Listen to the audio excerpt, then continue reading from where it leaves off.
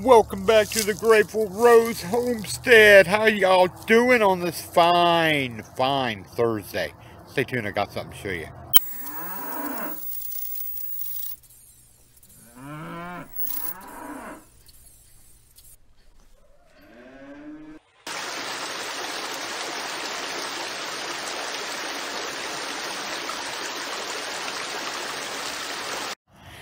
Well, it is Thursday already. No, actually today's Wednesday when you're that I'm doing this. But by the time you see it, it'll be Thursday or Friday.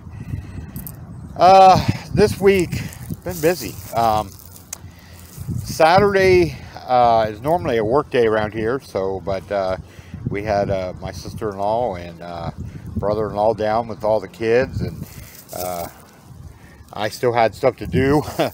the wife uh, left and Paisley girl left with uh, her sister and they went shopping and getting stuff ready for uh, garden season.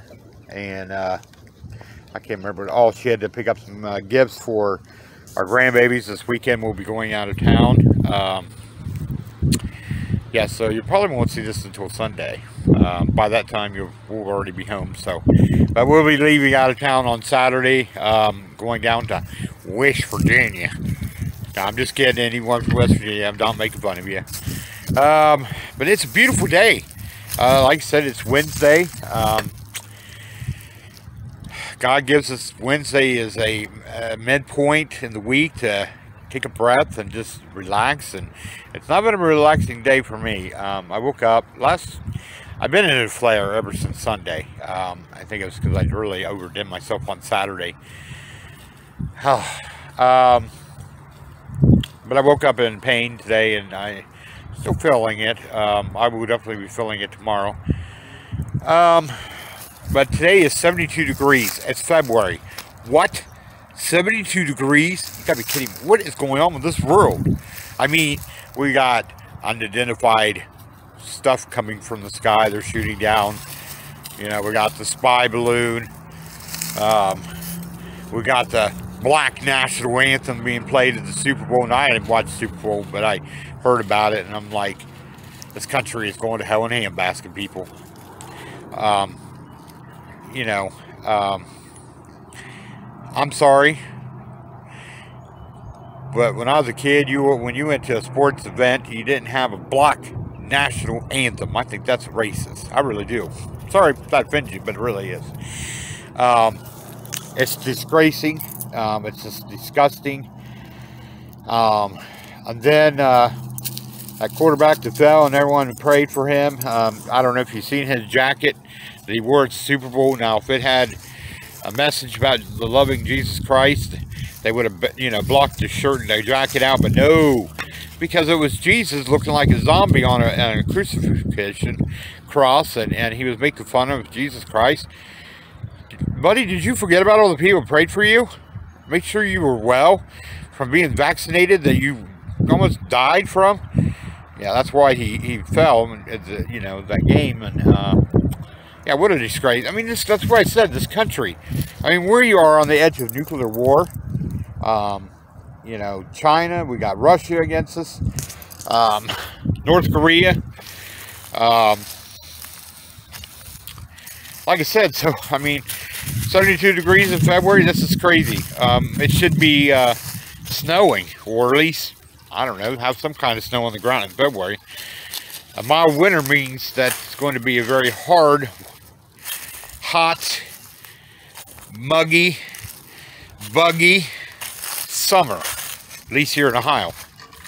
Um, that usually means that we have a very mild winter, and, and this has been a record mild winter. Because, like I said, we started out the out the gate freezing temperature, ain't already kind of freezing temperatures. I mean, it was crazy, and then it just slowly just went away, and, and 72 degrees today. Uh, today I got up, got out, and uh, cleaned out the rabbit cages. Um, I started it on Saturday, um, but when uh, free help comes along and they were offering to help us uh, uh, split the logs, the big logs, way back in the summer when I stacked up by myself, uh, we'll be going up here in a minute. Um, they offered to come over and we had asked them if we could borrow their uh, log splitter and they came over and helped and man, you just can't pass up free help. So uh, wife went and left uh, our, my brother-in-law in the house with all the kids. Poor guy. I felt so sorry for him. I don't. I told him. I said, "Why didn't you come outside?" He's like, "I was watching you from the window." So, uh, but yeah, Saturday around here we do. I'm doing laundry and, and working outside if it's nice, or you know if it's not nice, then I'm in the house. Um, Saturday was, gosh, I can't remember what temperature it was. Upper 60s, mid 60s, I think. Come on, Gypsy. Come on, girl. Where'd she go? Gypsy. Crazy dog. Come on, girl. Oh, I see her. She was down in the, the ravine. Mention of the ravine, this area right here, this is the future site of my gun range. I'm going to be uh, clearing all this stuff out where Gypsy's running. Clear it out and then right up there where them tree, little trees are at, I'm going to be putting a black uh, backboard with bricks behind it. Um, and this will be our uh, gun range. This whole area here is a perfect spot for my gun range. Um, we have the park over here, but if you can see, there's a huge bowl, basically. Think of it like a bowl. There's a big ravine right here along there. So uh, firing the weapons this way towards the home uh, uh, shouldn't be a problem. Um, like I said, I'm putting up a big backboard right along there.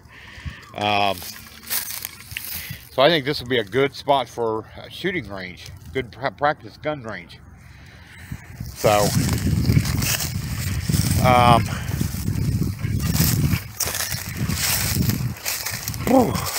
trying to think what else. So yeah, Saturday I got the, a lot of the logs split, um, which really helped out a lot. Um, them things are heavy. I mean, they some of them were beasties. Um, they got a big size uh, uh, log splitter, and it, it was taking some effort on that log splitter. But today I did some tillowing. Um, basically got finished the uh, outline of the garden. Uh, Sister-in-law will be bringing down the uh, her tiller um, on Carmen's birthday this sun, uh, not this Sunday, this uh, the 26th. That's Carmen's birthday. Today she's uh, under the weather a little bit. I don't know what's going on with her. She, I know she didn't sleep too well last night. Look at that. There's a chemtrail behind me. Um, I get distracted. I can't help but see there's a chemtrail right there. Anyways, uh, yep, she'll be five years old here at the end of the month. Can't believe it. It's almost, she's gonna be five. But she's uh, under the weather. She didn't sleep well last night. Um, uh, she was up pretty late and uh, so today, but she just laid around. She didn't want to eat. She hasn't eaten breakfast or lunch.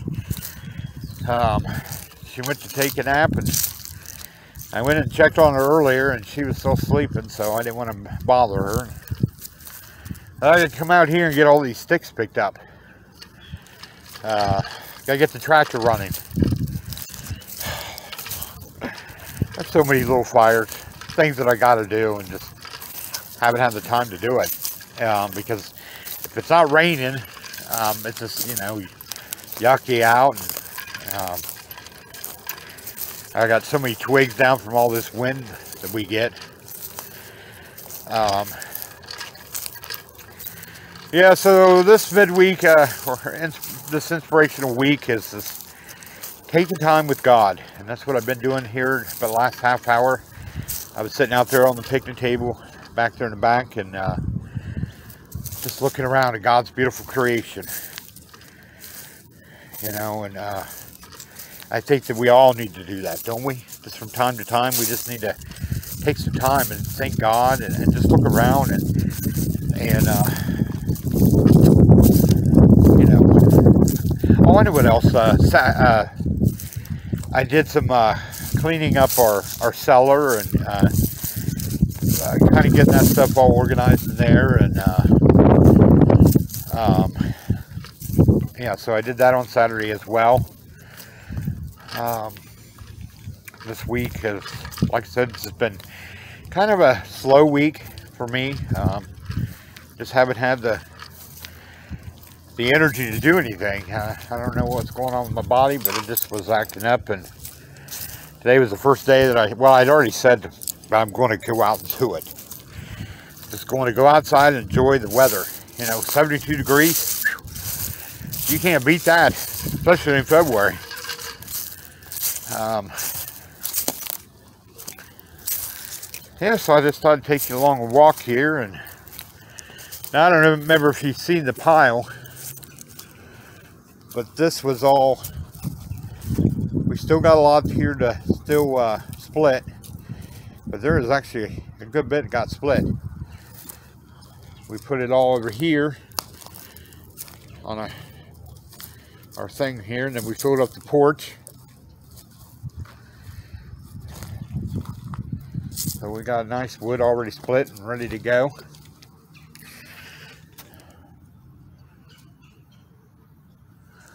so we're back up here at the front porch.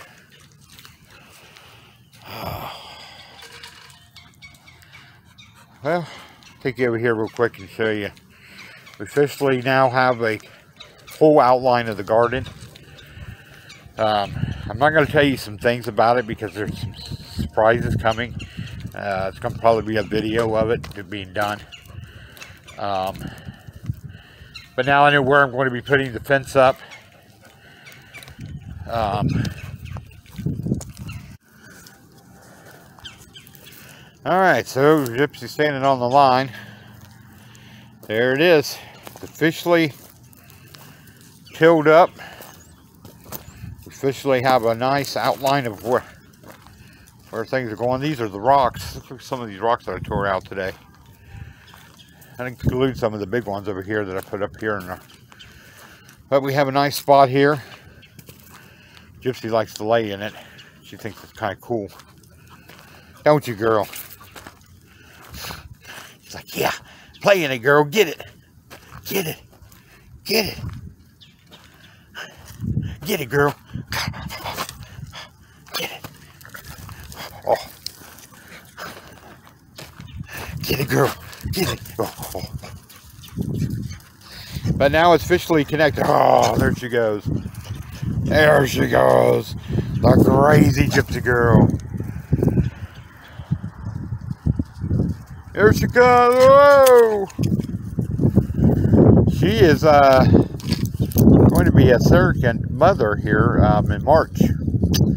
Uh, that'll be a surprise coming. I'm not going to go into too much detail about that, but just Gypsy's going to, Gypsy got fixed a long time ago when we got her as a puppy. We got her fixed and uh, she can't have any puppies, but um, she decided she wanted to be a surrogate mother and, and help and uh, I think she's going to be a good mommy.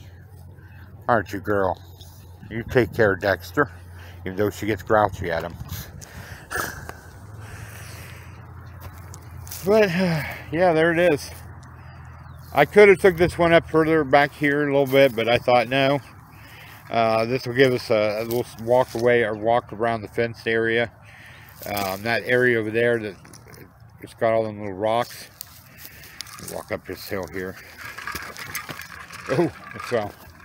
This spot here, um, I had a lot of already rocks and glass and uh, let me show you here. See the glass right there?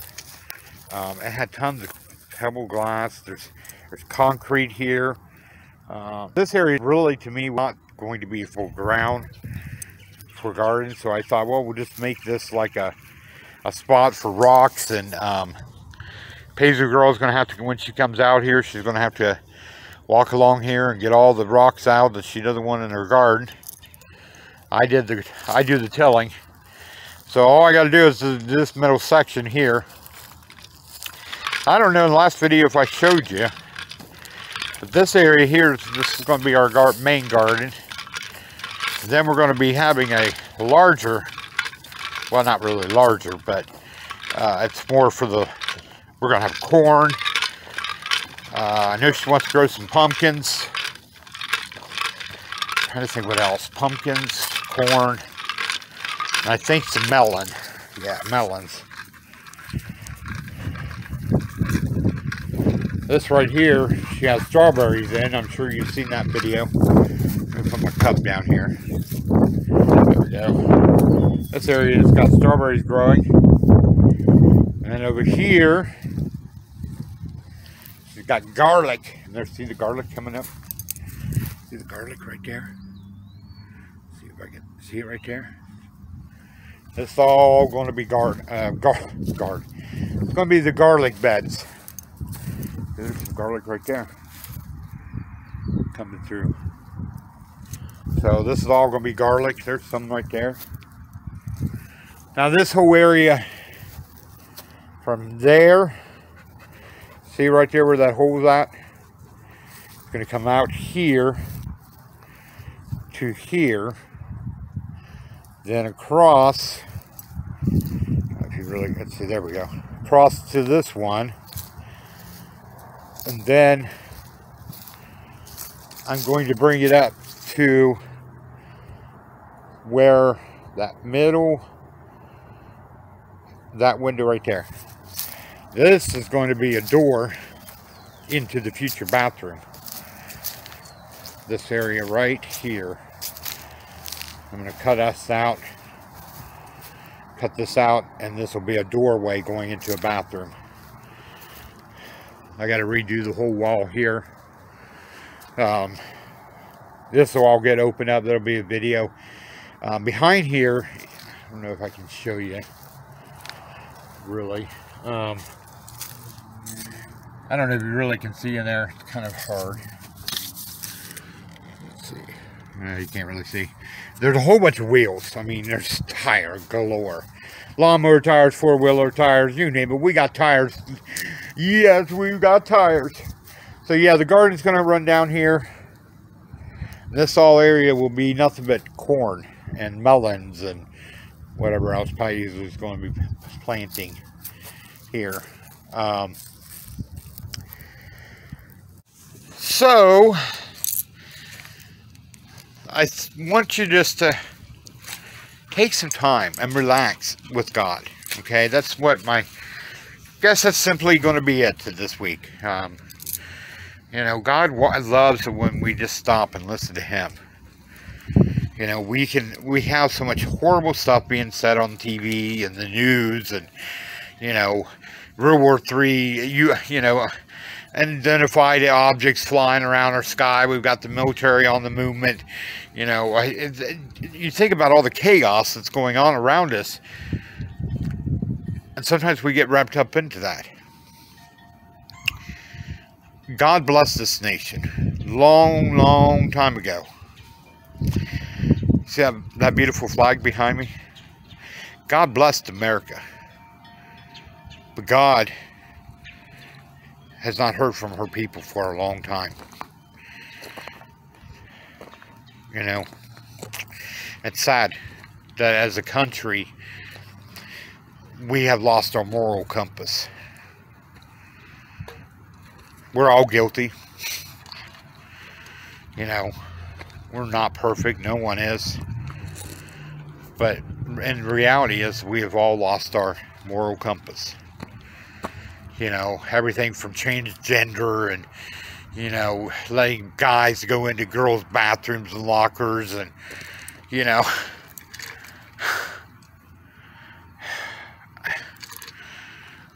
I shake my head. You know, I shake my head.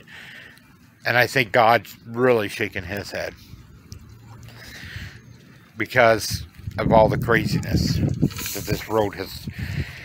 I just, when I see a commercial of two gay men, and I'm not trying to get too into this too much, but when I see a commercial, I think about my grandparents, what they would think.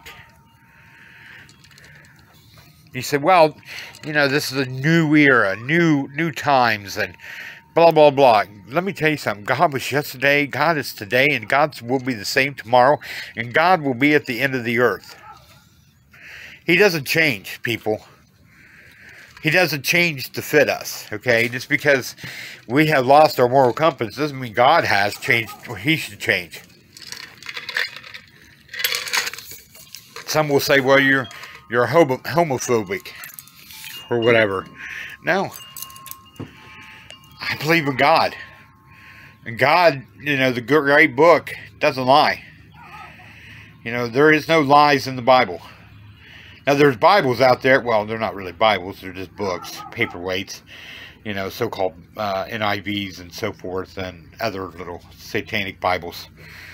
You know, they will tell you that homosexuality is okay, and, and it's okay to be a, if you want to, you know, be a girl, you can be a girl. If you want to be a guy, you can be a guy.